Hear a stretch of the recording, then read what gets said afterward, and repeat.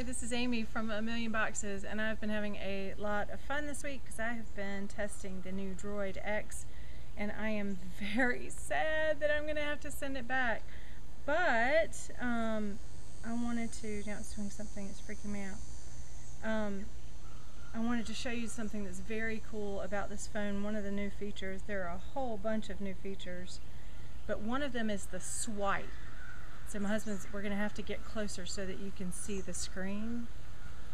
Because, and watch my finger, when you're typing, you can put your finger down, and then if you know your keyboard well enough, you can enter the words like that.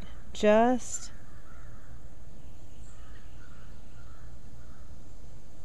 try. Oh, now it's got to choose. Just try it. It's a very cool way to enter your text and I use my thumb so it's harder for me to get used to that but those of you who are used to that sort of action typing with your index finger you're going to fly through your text messaging and entering data on this phone because the swiping just lets you go like lightning.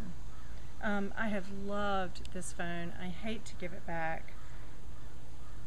If you have the opportunity, I suggest you try it.